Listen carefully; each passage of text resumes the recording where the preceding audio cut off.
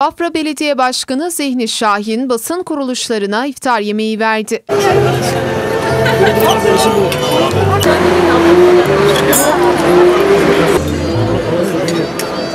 Yemeğe Bafra Belediye Başkanı Zihni Şahin'le eşi Şükriye Şahin, Belediye Başkan Yardımcıları İsmail Kurt ve Hüseyin Çamaş da eşiyle birlikte katıldı.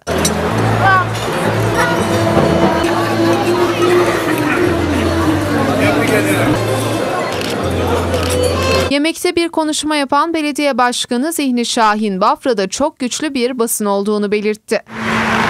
Ramazan ayı hepimizin bildiği gibi birlik beraberliğin, kardeşliğin, hoşgörünün en üst seviyede yaşandığı bir ay.